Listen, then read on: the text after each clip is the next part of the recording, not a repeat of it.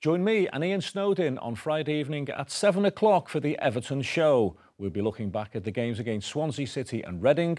We'll be looking ahead to the Premier League fixture with West Bromwich Albion. And we'll hear from Derek Temple and Louis Saha exclusively on Bay TV.